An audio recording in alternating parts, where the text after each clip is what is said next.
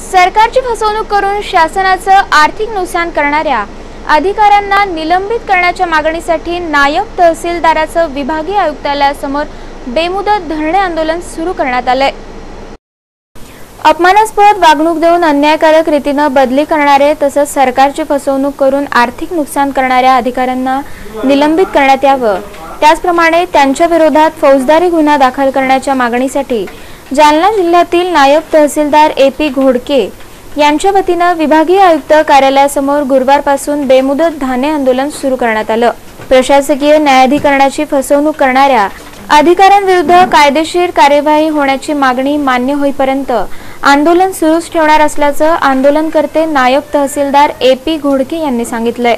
भोकरदन तालुक्यामध्ये पंचायत समितीमध्ये असणारा एम आर जी एसमधला ऑनलाईन घोटाळा मी उघडकीला आणला.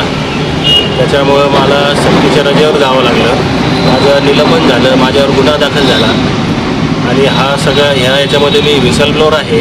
मी एकवीस लाख रुपये शासनाच्या खाती जमा केले. परंतु संबंधित जे दोषी अधिकारी आहेत कर्मचारी आहेत त्यांच्यावर कोणत्याही पद्धतीचा गुन्हा दाखल करण्यात आला नाही.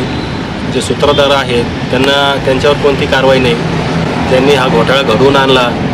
लोखंडे तत्कालीन बी डी ओ त्यांनी एकवीस लाख रुपयाचा घोटाळा केला. त्यांच्यावर पण कोणतीही निलंबनाची सुद्धा कारवाई करण्यात आलेली नाही. ऑनलाईन बनावट मास्टर आणि कुशल बिल तयार करणारा जो कर्मचारी आहे सुनील राठोड माजी कंत्राटी कर्मचारी त्याच्यावर सुद्धा सायबर क्राईम अंतर्गत गुन्हा दाखल करण्यात आलेला नाही.